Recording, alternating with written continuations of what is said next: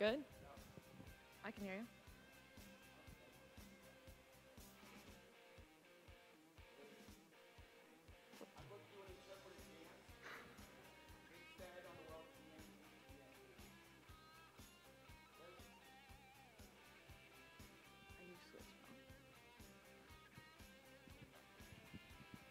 Okay. So yesterday's case study, rather serious in nature, without, you know, I think it was a very serious subject, but we're not here to save the children. We're here to sell some fucking toothpaste. The, uh, the word has been bandied around. We've heard it all weekend long, right? We've heard about partnerships, we've heard about relationships. But the truth is, without honest and truthful communication, they're all, get ready for this, bullshit. See the way I did that with the ship?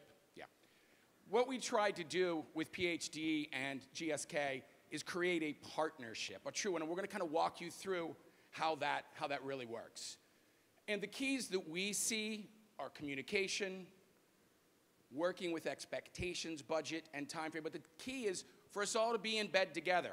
It's like big love, people. Get married, multiple spouses. You are. I, we are. I'm your the thing is, you have to be honest. And you hear that a lot. But the reason Kelly and I and Scott Grenz, who's not here, work together is because we're all completely transparent with everything, right? So many of your vendors out there are coming to you with solutions. But what are those solutions? Usually some kind of like proprietary algorithm stuffed inside a black box, covered in special sauce, guarded by magical unicorns. Get down to it.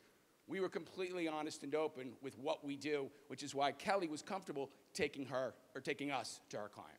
Yeah, and I think that um, from an agent, agency, sorry, agency perspective, that's really important. I think um, we actually don't look at partnerships as kind of who the vendor is and who's helping us out, but they are an extension of my team. I think that's really important. I think all agencies know we're kind of lean, we're skeletal, we're missing half the buyers, we need half the supervisors. So when you enter one of these partnerships, and it's exactly what we did with the AudienceScience team, is Sarah and the rest of the people on Will's team became an extension of my team. They're in the office.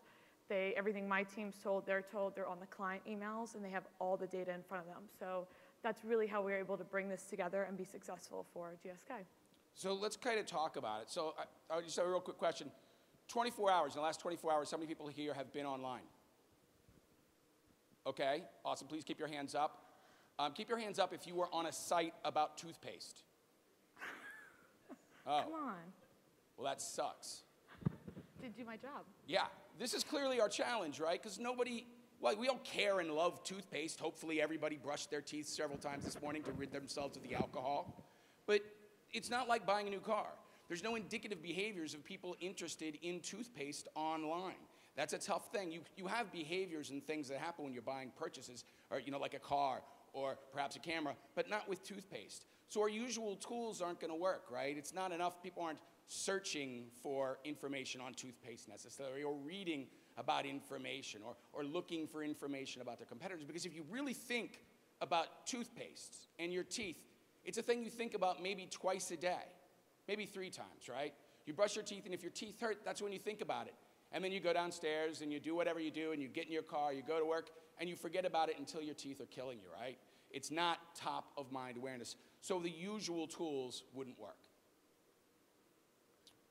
What we had to do was sit with Kelly and with the client to really understand deeper and, and who is this target and do some creative thinking and brainstorming and then start applying those guesses. But you know what, folks? And this is where it changes from being a vendor and a seller into a relationship, into a partnership. Because it all doesn't work right off the bat. Things don't just magically happen and you start seeing things. What are we looking for? What are we trying to find? And there were some interesting insights that came up right up front. Turns out people that eat a lot of fruit have tooth sensitivity. Turns out that people that drink a lot of coffee and a lot of tea have tooth sensitivity. But who are those people and how are we going to find out a little bit about them? So I think this is a good place where to build on the panel that you just saw. Big data helped us, and we worked with AudienceScience, and we partnered, and we did lift the hood at GSK and with our research analysts and kind of pull it out. And we said, okay, these two things seem like they should have been obvious to us, but now we have to find that person because almost everybody eats citrus fruit, drinks coffee and tea. So by really kind of digging into the data and partnering and really looking at what worked, what didn't work, throwing out what didn't work, adding the new piece, we really actually found who those people were. And it was quite surprising to us, and it allowed us to have an entirely different plan out of the gate than when we actually started. Yeah, I thought what Ming said here was really interesting uh, in the last session because you don't know going in always, right? Or you have an idea. You know, we've all seen those RFPs that come out for a client, right? Um, XYZ product targets Mary. Mary is 25, 54, she lives, she's a soccer mom, she's cul-de-sac, but that's not enough information. So it required us sitting down and li- literally taking the data and ripping it apart and overlaying it time and time again to try to understand who specifically we were going to see and who we were going to talk to. And then on top of that, what message are we going to send them? Because what's the ultimate metric here? When was the last time anybody here purchased some toothpaste online? You don't do it. So we're, we're hampered by a couple of things with this campaign. We're hampered by you're not looking for information. We don't know exactly who the people are. We don't know that you're going to purchase. In fact, we know that if you are going to purchase it, you're probably going to go into a store and purchase it, right? We're hampered by click is not a great metric. So we had to look at a number of things. And we do look at click, and we did look at um, site engagement, and we do look at brand lift. All those things together are going to create success for the campaign. But again, these conversations were not had five weeks into the campaign when Kelly's team would be calling my team or your team to say, hey, what's up? Why aren't we where we need to be? The communication has to, has to, has to happen up front and then is an ongoing process. It's not enough to say, how are we going to get this buy done and what's it going to look like? It's about constant interaction and trust. Yeah, I think that's really important there when you talk about how we didn't have the information. And, and it is a hard product to go after. I mean, everybody buys toothpaste, and a lot of times it's just what the first one that you see on the aisle is. I think to that point, it wasn't five weeks in, it was in the beginning. Because what we really had to know was from the get go, what were we looking at, what we were doing. And we were very honest um, with AudienceScience and the team saying, this is what we think but we don't know. But what we do know is we have to push something off the shelf and we have to do it pretty quickly. And it can't be a phone call in five weeks. It needs to be a phone call in 24 hours. And you need to be right there with me, and you actually have to have been ready to make the phone call before I did. So it was just that collaborative piece that not only allowed us to find out a lot of the data points, but we actually learned who the person is that we were going to go, go after, completely different than what we thought. And so that allowed the campaign to be successful. To Will's point, what were the metrics? It's very hard when you're not selling something on, online. So yes, we did look at click-through. We did looked at brand um, measurements in terms of lift and favorability. But the big thing we actually looked at was pulling the data, looking at the collaboration, and finding a new target to actually go after that allowed us to broaden that plan from there on out. And the targets that we found, it's one of those things where after we say it, you'll be like, oh, sure. Why didn't you see that up front? So who did we discover? This guy. People that don't take care of themselves have painful teeth. Not exactly an aha, but we had to do a lot of digging. Was it people that were eating a lot of candy? Was it people that were just going to meat sites? Things of the nature that wouldn't necessarily jump up. You know, who's eating, who's ordering 25 pounds of meat? That guy's probably not going to be very healthy. Those types of weird insights actually allowed us to create buckets of segments of people that we believed were unhealthy, leading an unhealthy lifestyle. Maybe it was massive amounts of hits on video game sites, things of that nature. I'm not going to share everything with you guys here today, but those sort of insights led to us uh, uh, able to serve ads to people that we would never have thought, never have dreamed of targeting. Seniors, another huge place where, again, it's an aha. Like, oh, I, I would think that that makes some sense, but let's prove it with the data. Let's come in with spreadsheets and actual facts that we can provide to the client and to Kelly to say, look, here's a market that we found that we're not really targeting, we're not spending an inordinate amount of money. And I think Ming mentioned earlier that this changes not just online, but offline. There's some pretty cool things that you can do with those types of insights.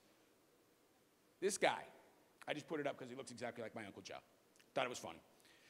Lastly, people looking for help looking to change their lifestyle, looking to address some of the situations that they've occurred, uh, that have occurred in their life, became somebody that looked really strong for us to target.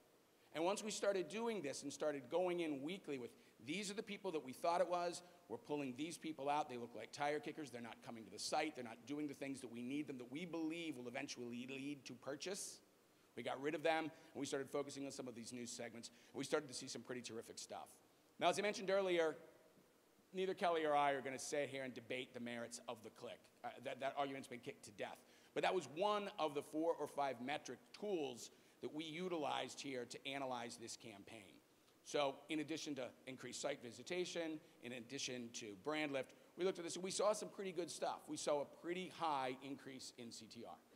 And I think that's really important. While we're not looking at that as the end-all be-all, I think everybody here is very familiar with your client's um, media mix models, and a lot of times you're trying to figure out what it is, and it's starting that funnel. So while it wasn't the only thing that we looked at, we did find that if we were sending more people to the site, going two or three pages in and engaging with whatever content was on the site, that we were obviously finding someone who had a little more of a propensity to purchasing a toothpaste for sensitive teeth. Additionally on that, what was really helpful to Will's point about taking something offline is actually finding targets in terms of areas, Austin, Baltimore, New York, and Florida, that we had never even thought of actually going into a geo or into a state and kind of really doing some heavy targeting. We were more of a national type campaign, so both those pieces allowed us not only to look at the online campaign and optimize it, but then look at offline. Does that mean we should be dropping FSI in certain areas, should be having up TV, bringing in radio out of home, kind of all those different pieces were able to be pulled over a short campaign of that kind of sharing back and forth. Now, the other thing that this does is this isn't the end, right? So your campaign's finished. That's just the beginning of this partnership, right?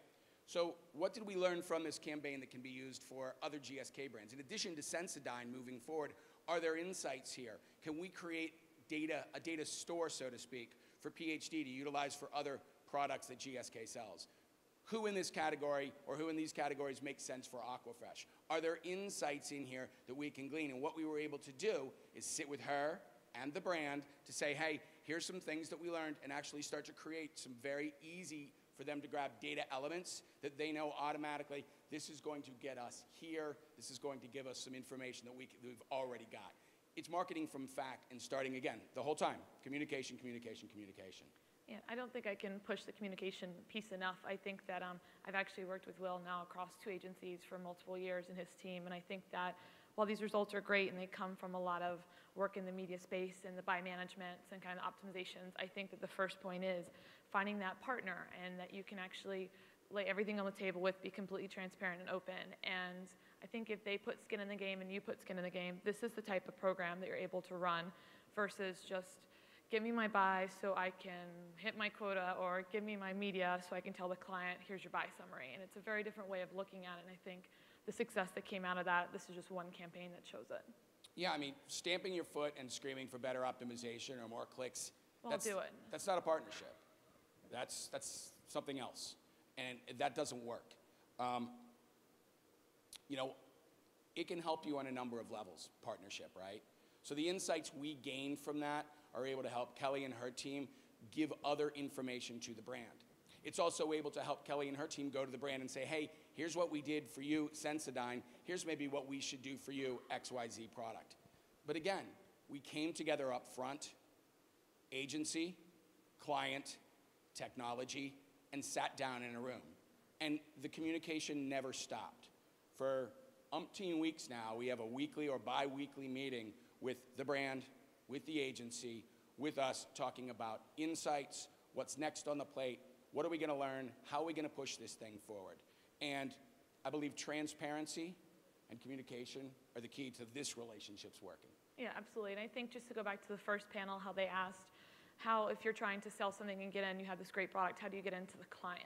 It's not necessarily the agency, but the client. I think this shows how the agency actually pulled the client in and said, you have to be speaking to this person. This is the partner that we want to bring to you. So I think making sure you're transparent and collaborative only allows the agency to feel more comfortable with allowing that next move, which is sure, you can talk to my brand, you can talk to my client, and open up that aperture. So I think that transparency works for everybody involved. Great, that's really all we have today. Are there any questions or anything? I think we have like a minute and a half. Can't really see out there, so I'll assume we're good. Nancy, we good? Yeah, terrific. Thank you so much.